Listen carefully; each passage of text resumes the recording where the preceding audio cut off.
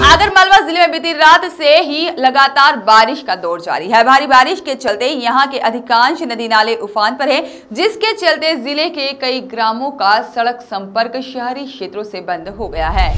वहीं वृहद सिंचाई परियोजना कुंडालिया बाँध के साथ गेट खोलते हुए बहाव क्षेत्र के आसपास से निवासियों के लिए सावधानी पूर्वक रहने की एडवाइजरी जारी की गई है। साथ ही लखुंदर नदी के उफान पर होने से विश्व प्रसिद्ध माँ बंगलामुखी मंदिर का प्रमुख रास्ता भी बंद हो चुका है। वॉइस ऑफ़ राइट्स के लिए आगर मालवा से एहतशान खान की रिपोर्ट।